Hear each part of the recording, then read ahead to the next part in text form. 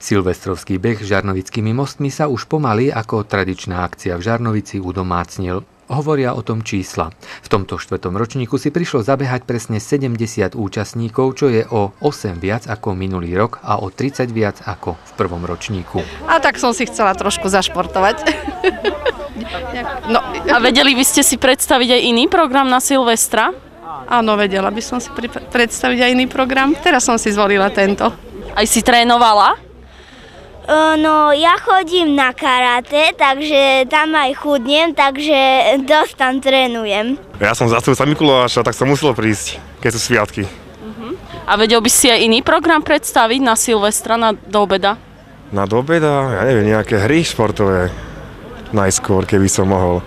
Tak nejaké športové hry, keby boli. A tak nejaké deka pribudli po Vianociach a zašportovať si pohyb trošku a nadýchať sa tej silvestrovskej atmosféry. No ona chcem ísť, ona povedala, chcem skúsi. No. Aha. No. A ako by ste inak trávili Silvestra, alebo teda do obedie silvestrovské? Keby ste sem neprišli?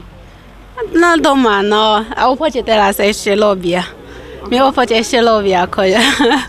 Aj tento rok bolo mnoho účastníkov cez polných, ale aj zahraničných. Dvaja z holandského Amsterdamu, jeden z českého náchoda. No prišli si zabehať aj štyria stlmáč z Bratislavy, Žiaru nad Hrabičova či Ostrého Grúňa.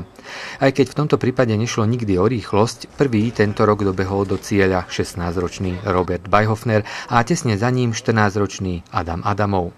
Najmladšou účastníčkou sa stala dvojročná Gabika Beran z Amsterdamu. Najstarším bol zase 72-ročný Jozef Rybár zo Žarnovice. Čiže zdravotný dôvodov, aby som sa tak po... priblížil tým mladším troška, keď som najstarý. A dobre ste si zabehli? Ale už tak mám vnúčika, tak áno. Dobre. Niečo po pol jedenástej bola pristavená doprava a bolo odštartované. 70 účastníkov muselo prebehnúť alebo aspoň prekráčať jednokilometrovú trať štyrmi mostmi ponad Kľakovský potok. Tohto ročný štvrtý ročník Silvestrovského bohu žarnovickými hodno- mostami ja osobne hodnotím ako úspešný, pretože e, zúčastnilo sa ho 70 záujemcov, všetci prešli trať dĺžke jedného kilometra.